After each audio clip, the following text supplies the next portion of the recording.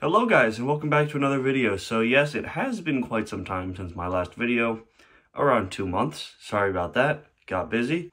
However, I have been working on new projects and it's slow going, but it is going.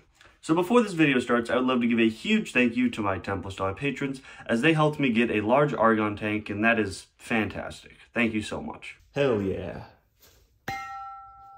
I want to give another huge thank you to Backyard Science 2000 who actually donated, yes, donated this uh, 5 cubic foot oxygen cylinder to me. So, thank you so much for that. This will be used. On that note, Backyard Science 2000 has actually donated a lot of chemicals to me and they've all been really good quality. So if you want to uh, get in on some of that action, I put his store linked in the uh, description below because he sells some very good quality chemicals and I feel like if you guys need them, you would highly enjoy it. Okay, so I think I've brought up everything that I've uh, wanted to, so let's get right into the video. So in my last video, which was uh, quite a while ago, I uh, made triaminoguanidine nitrate. Since then, I have recrystallized this triaminoguanidine nitrate to get it ultra pure. This was pretty simple and I just dissolved it in a minimum amount of water and got nice needle-like crystals which I actually uh, was able to get a picture of under a microscope. So the next step in this whole process is for me to turn this triaminoguanidine nitrate into the chloride. Now to do this I must first freebase it and for that I will be using dimethylformamide, water, sodium hydroxide, and a very cold ice bath using dry ice. I actually managed to do this reaction first try as it really is not that difficult and uh, I actually got exactly the yield that the paper got in the patent that I followed. So here you can see that I'm doing exactly half of this scale of what the patent did and here I have my sodium hydroxide water solution with uh, the triaminoguanidine nitrate dissolved in it. And to this I will now add the dimethylformamide and once that is added it heats up greatly while I have to vigorously shake it for around a minute. Once I vigorously shook it for around a minute, I stuck it in the dry ice bath and just kind of left it there for actually a few hours. Once it was like a really thick syrupy slurry, I uh, took it out and let it warm up overnight back to the uh, fridge temperature. From here, it uh, I actually had solid that precipitated and all I had to do was filter and dry it and I got exactly one gram, which was what I expected. So once I dry the free base under vacuum, because it actually is sensitive to air, so I don't want it drying under air, I can now react it with hydrochloric acid to make the triaminoguanidinium chloride. This is very simple, because all I have to do is react 1 mole of triaminoguanidine with 1 mole of hydrochloric acid. So there's no solubility rules for the triaminoguanidine that I could find anywhere online, so I just kind of uh, ballparked it. So I just said, okay, so I'm to try 5 milliliters of water initially to dissolve this 1 gram. And it turns out it actually dissolved the entirety of the 1 gram nearly perfectly. So, uh, that was lucky. So once it was all dissolved and stirred up, I started adding the hydrochloric acid. Once all the hydrochloric acid was added, uh, the triaminoguanidinium chloride actually crashed out of the solution which was uh, not expected as I thought it would be a lot more soluble. Anyways, it makes life a lot easier, so I'm not going to complain. So now I just cool it in the refrigerator to precipitate as much as I possibly can, and I filter it and dry it.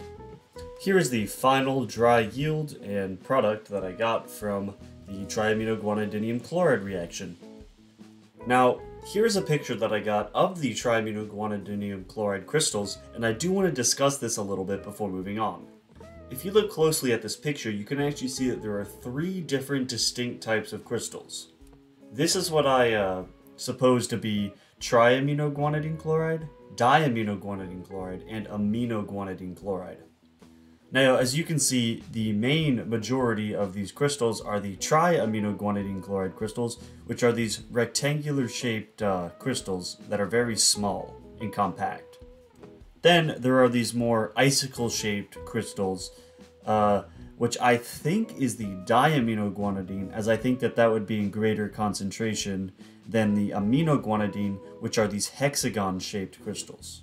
The reason why I think that the diaminoguanidine is in more presence than the aminoguanidine is because of the solubilities of both of them and how I purified it before the recrystallization. Because this triaminoguanidine chloride is actually made from the triaminoguanidine nitrate before I recrystallized it. So this actually was the more impure stuff.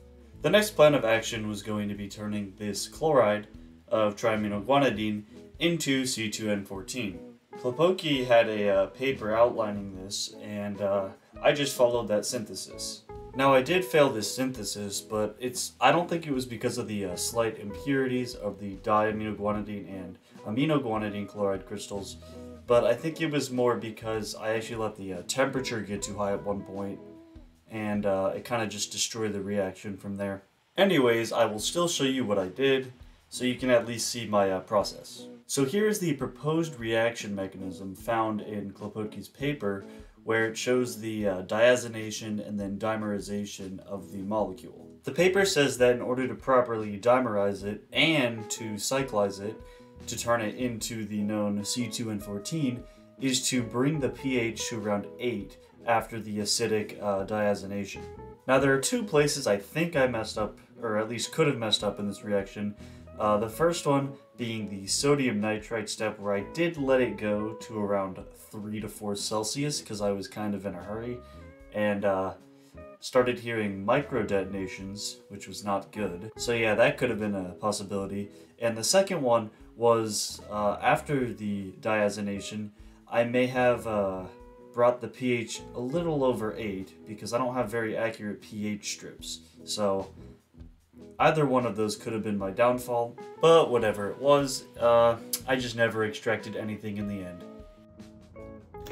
Okay, so if you can see, uh, right there is a little piece. Let's see if it does anything. Wow. Yeah, so that didn't work. Thank you everybody so much for watching. I hope you guys enjoyed the video. I will be using this triaminoguanidine uh, nitrate, and chloride in future videos, so I guess this was not a complete fail. Well, see you guys.